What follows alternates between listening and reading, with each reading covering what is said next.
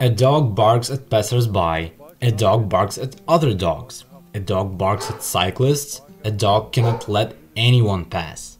If this is your problem, then you need to watch this video to the end. Hello everyone, my name is Andrii Dolzhenko, I am a professional dog trainer, and today I will tell you how to teach your dog not to react to irritants that you may encounter on the street.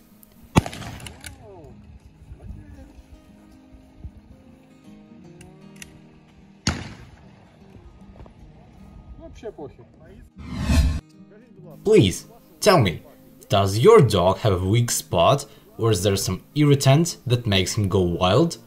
I will be very interested to read that. Everything we meet on the street, if we translate it into our canine language, is called irritant. A stimulus is anything. It's a dog that ran past, it's a breeze, the smell in the air, a running cat, a cyclist, a train, cars. Everything we meet on the street is a stimulus. And these same stimuli affect the reaction of our dog. That is, some dog is afraid and some dog is aggressive. Some dog wants to play with this irritant. Reactions can be completely different. Therefore, in order to calmly walk down the street so that your dog is social, so that you can take it into the town. We are engaged in socialization.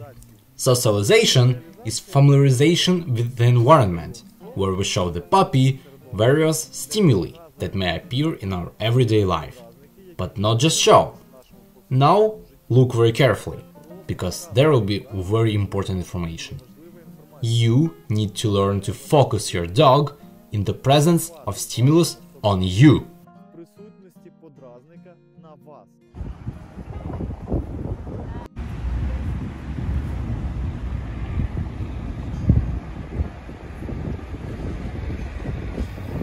That is, do not fight the stimulus, do not chase after the stimulus, do not run away from the stimulus, but see it, but at the same time focus on you. And the main thing in this situation will be the distance to the stimulus, because if you get it too close, you won't be able to do anything with your dog, because he will be absorbed by this information that the stimulus gives him. And he will want to somehow communicate with it, or on the contrary, run away. First, you need to choose a safe distance when your dog sees, hears, smells, but does not react yet. And at that moment, you appear, and you should become 10 times more interesting than that irritant. You have to have a very tasty food. You have to have a favorite toy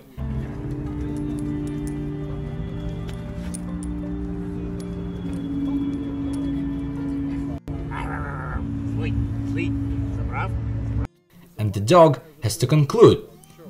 There is something there, but it doesn't mean anything to me.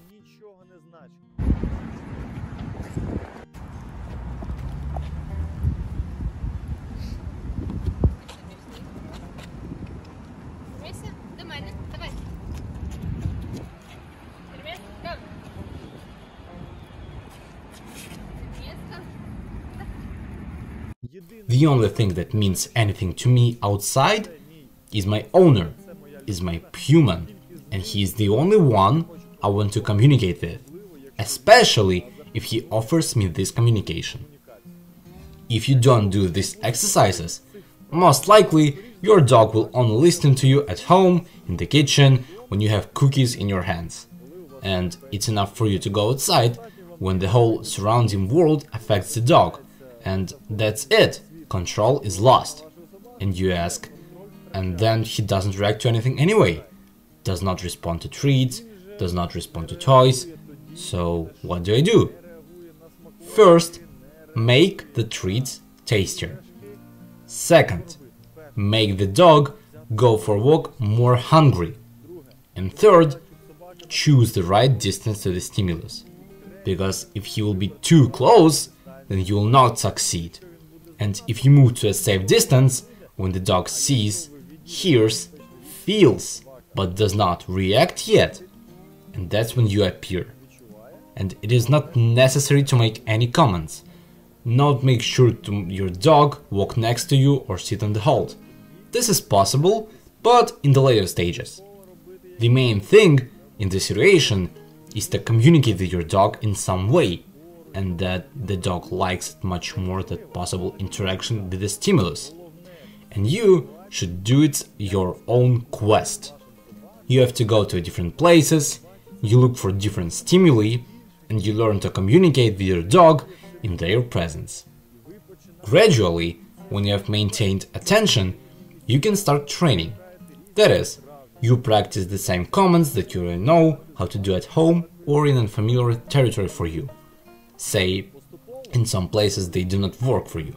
However, the main rule that we remember is that in difficult places, the tasks for the dog should be as simple as it possible.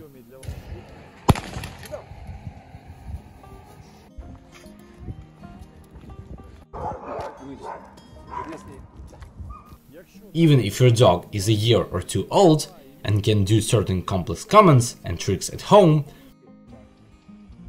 Стоять. Лежать.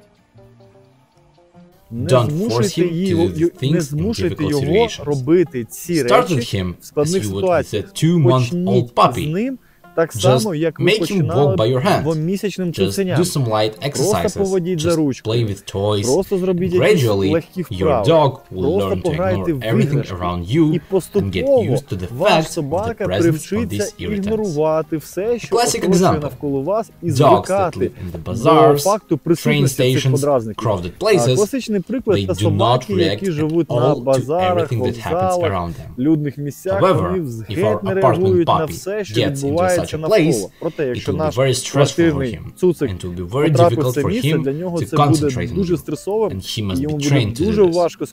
If you use these methods, I am sure that everything will work out for you. Of course, you can also add about correction, about some kind of punishment, But Звичайно, можна ще додати про корекцію, про якісь покарання, але ж ми пам'ятаємо, що на youtube каналі цю інформацію давати неможливо, і можливо ви зможете її отримати на That's all for now. індивідуальних Please, заняттях. Don't forget to А, subscribe. Поки що в мене like все. And забудьте, leave a будь ласка, comment. підписатись I wish good for everyone. і лайк поставити, комент написати. І побачимось в наступному ролику.